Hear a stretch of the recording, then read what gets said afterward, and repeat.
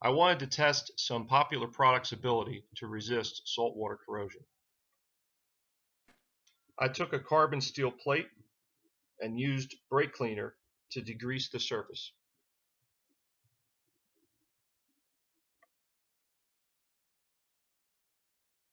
I used masking tape to divide the surface into four sections. I kept my gloves on to avoid adding any fingerprints to the surface.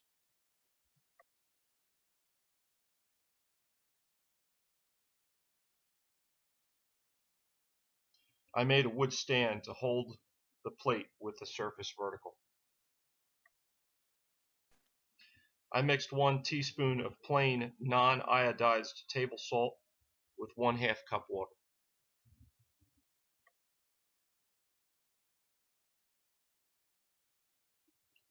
I applied each product with a cotton patch.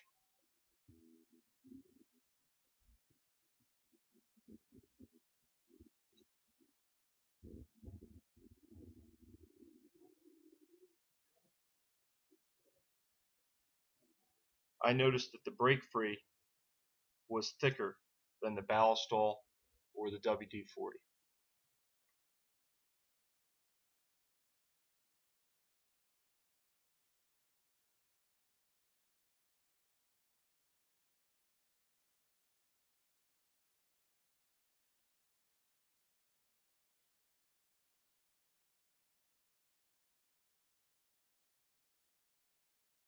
I sprayed the salt solution on the surface of the steel.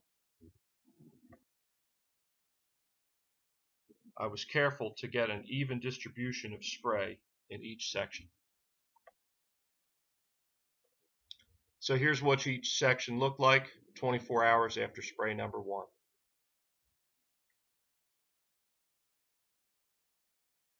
So I reapplied my salt solution and here's the results 24 hours after spray number two.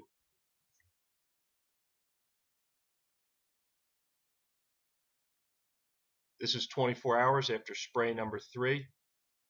Definitely starting to see some of the products uh, breaking down, especially the Ballistol. 24 hours after spray number four, the WD-40 is breaking down. The Break Free's holding its own. Ballistol is getting worse. And there's your plain steel. Here's the surface 24 hours after spray number 5.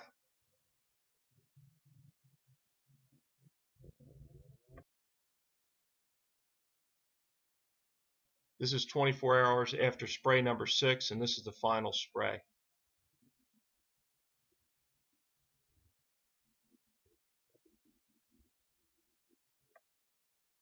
Here's some close-ups of the saltwater corrosion after six sprays.